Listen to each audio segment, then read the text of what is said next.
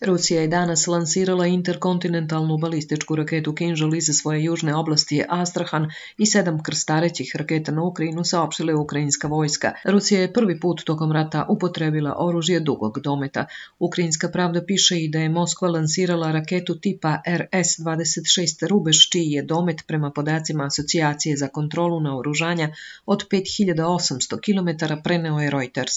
Ranije tokom dana Ukrajinsko ministarstvo odbrane saopštilo je da je Rusija ispalila interkontinentalnu balističku raketu na Dnjepar, ali nisu precizirali vrstu rakete.